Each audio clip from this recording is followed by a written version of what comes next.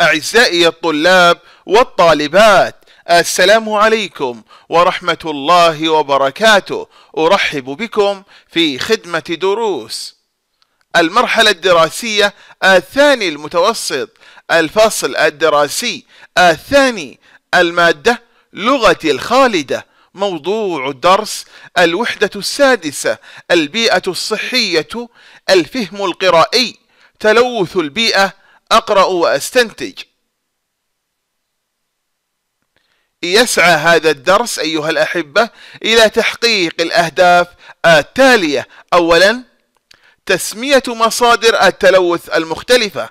ثانيا اقتراح عنوان جديد للموضوع. ثالثا التعرف على معاني المفردات الجديدة. فهيا معا لتحقيق هذه الأهداف. عزيزي الطالب اهتم الإسلام بالنظافة اهتماما عظيما ودعا إليها بجميع أشكالها. نظافة الإنسان ونظافة الطعام والشراب ونظافة مصادر المياه ونظافة المساكن والشوارع. عزيزي الطالب أستعين بالصورة التالية لتحديد سبب التلوث ثم أستنتج المسبب لتلوث البيئة. عزيزي الطالب ما سبب التلوث؟ نشاهد هذه الصورة. ما السبب؟ دخان المصانع المتصاعد إلى السماء. أحسنتم. المسبب من المتسبب؟ ما الإجابة؟ نفكر قليلا. الإنسان أحسنتم إجابة رائعة. عزيزي الطالب من نتائج تلوث الهواء الإضرار بصحة الإنسان مما يؤدي إلى إصابته بعديد من الأمراض مثل الربو والتهاب العيون الذي قد يؤدي إلى العمى والتهاب القصبة الهوائية وبالناحية أخرى يوقف تلوث الهواء نمو النباتات ويؤدي إلى تدميرها. أحيانا. أحسنتم.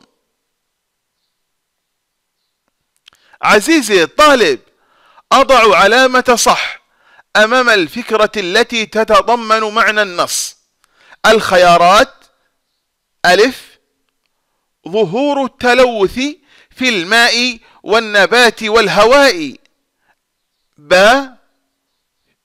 مشكلة التلوث البيئي التي تهدد الكائنات الحية ووسائل الحد منها. جيم الأضرار التي تصيب الإنسان والحيوان والنبات نتيجة التلوث البيئي. ما الإجابة؟ نفكر قليلا.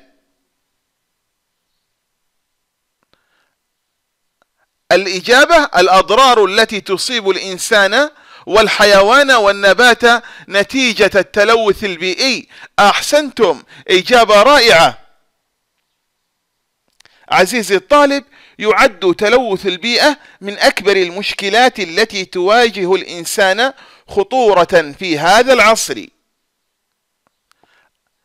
عزيزي الطالب أقترح عنوانا آخر لهذا النص. ما العنوان المناسب؟ ما الإجابة؟ نفكر. مشكلة التلوث البيئي أحسنتم. عزيزي الطالب أرتب الأفكار الفرعية التالية وفق ورودها في النص. الأساليب المتبعة للحد من خطورة التلوث البيئي. ثانيا صور تلوث البيئة. ثالثا أسباب تلوث الهواء والأضرار الناجمة عن ذلك. رابعا تلوث البيئة من المشكلات الكبرى التي تواجه الإنسان. خامسا أسباب تلوث التربة. سادسا أسباب تلوث الماء والأضرار الناجمة عن ذلك. ما الترتيب الصحيح؟ نفكر. اولا تلوث البيئة من المشكلات الكبرى التي تواجه الإنسان. أحسنتم. ما الإجابة الأخرى؟ صور تلوث البيئة. أحسنتم.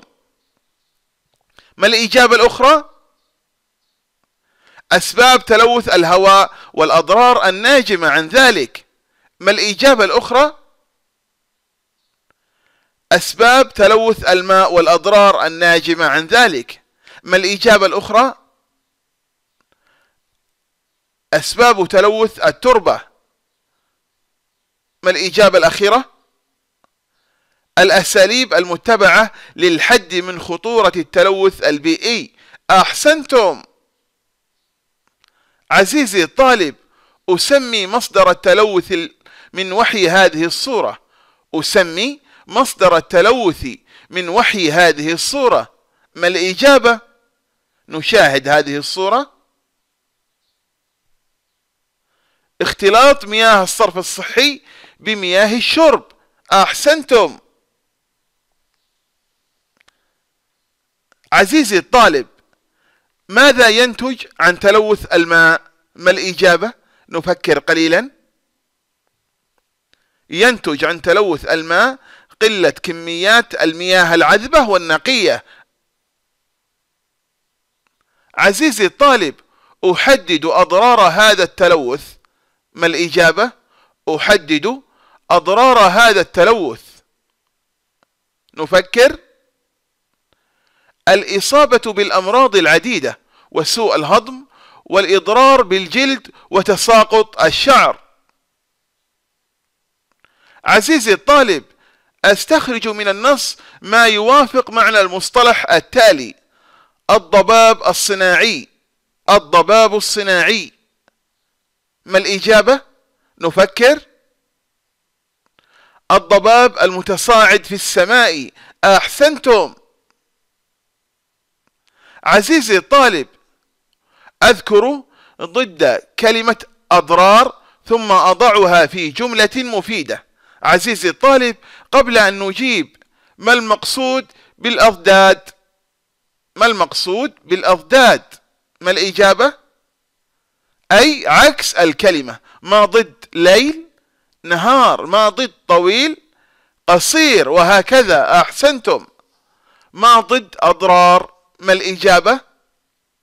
منافع أحسنتم. الجملة المفيدة ما الإجابة؟ إن التمر له منافع كثيرة أحسنتم. عزيزي الطالب أكمل الجدول التالي. الضرر الإصابة بالتهاب الرئة. من أسبابه ما الإجابة؟ نفكر. تلوث الهواء. أحسنتم. ما الحل المقترح لإبعاده؟ ما الإجابة؟ نفكر. إبعاد المصانع عن المناطق السكنية. أحسنتم. الهدف؟ المحافظة على سلامة الصحة وأمنها. الضرر الآخر عدم تماسك التربة. من أسبابه ما الإجابة؟ قطع الأشجار. الحل المقترح لإبعاده تشجير البيئة. ما الهدف من ذلك؟ نفكر. المحافظة على سلامة البيئة. أحسنتم. موت الطيور والنباتات. من أسبابه ما الإجابة يا أحبة؟ نفكر قليلا. تلوث الماء والهواء. ما الحل المقترح لإبعاده؟ ما الإجابة؟ عدم استخدام المبيدات الحشرية. أحسنتم. ما الهدف؟ نفكر. المحافظة. على أمن الحياة. أحسنتم. الضرر الأخير الإصابة بالعمى من أسبابه تلوث الهواء الحل المقترح لإبعاده. ما الإجابة؟ نفكر قليلا. التقليل من تسرب الغازات والدخان. أحسنتم. ما الهدف؟ نفكر المحافظة على سلامة الصحة. أحسنتم. إجابة رائعة. عزيزي الطالب نستنتج مما سبق بأن التلوث يتخذ ثلاث صور. هي أولا تلوث الهواء تلوث الماء تلوث التربة. أحسنتم. عزيزي الطالب أضع كل معنى مما يلي في الفراغ المناسب له. الخيارات ذهب بها أكل جوانبه. جرف السيل الوادي أي بمعنى ماذا؟ الخيارات كما أشرنا قبل قليل ذهب بها أكل جوانبه. ما الإجابة؟ نفكر أكل جوانبه. أحسنتم. ثانيا جرف السيل التربة. أي؟ ما الإجابة؟ بمعنى ماذا؟ جرف السيل التربة. ذهب بها. أحسنتم.